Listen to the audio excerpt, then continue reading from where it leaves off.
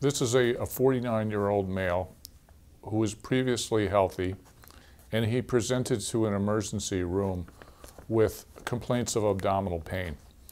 He had an evaluation done uh, by CT scan in the emergency room that showed that he had uh, diverticulitis, which was likely the cause of the abdominal pain, but he was found to have an 8 centimeter left renal mass that was found incidentally. The patient was referred to uh, a urologist and had a complete workup, which included a CT scan of his chest, abdomen, and pelvis, appropriate blood work, and a urinalysis, and he underwent a left radical nephrectomy. The left radical nephrectomy was performed in September 2015, and the results showed that this was a clear cell carcinoma, a stage PT2A. The Fuhrman grade was 3, and a uh, node dissection showed that there was no spread to the nodes.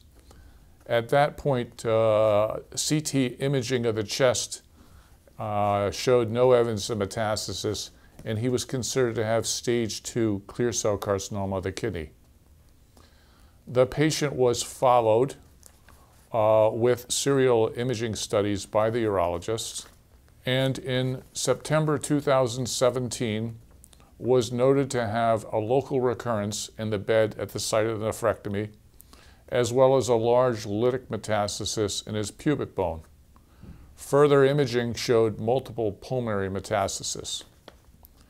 He was referred to a medical oncologist who continued the evaluation and blood work, performance status, and other serologic tests showed that the patient was anemic, had normal calcium, had an adequate performance status of 90, and was considered to be intermediate risk by both MSKCC and international uh, criteria.